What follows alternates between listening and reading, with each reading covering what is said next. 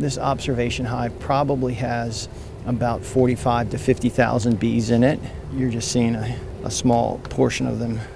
I'm actually very delighted with the temperament of these bees. They were selected based on not only their temperament, but also these colonies of bees were rescued from a home nearby in the local community. Here's a young fellow, here's a drone.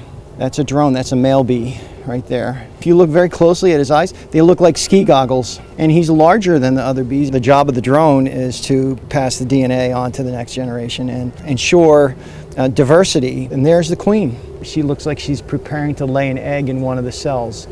If you look, there's a, a round crew around her. That's called the retinue. That's her court.